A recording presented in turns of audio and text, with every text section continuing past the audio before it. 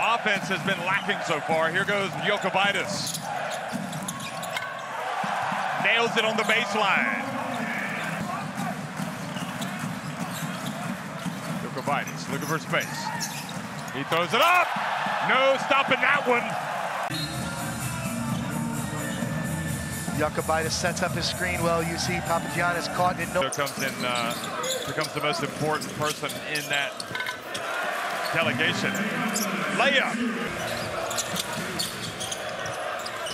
And Valanciunas.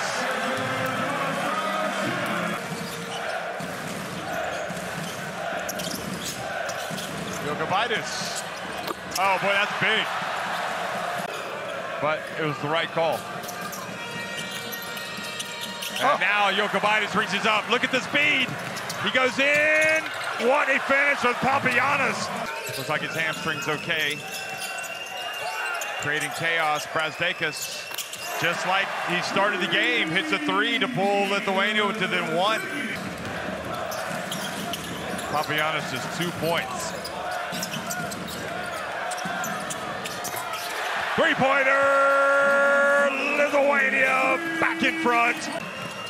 And great hands once again by Larentzakis. Oh boy, Walkup couldn't collect it. Jokubaitis, how crucial is that? Well, I mean, in fairness, that was not a flop. I thought they called a technical, so just an offensive foul.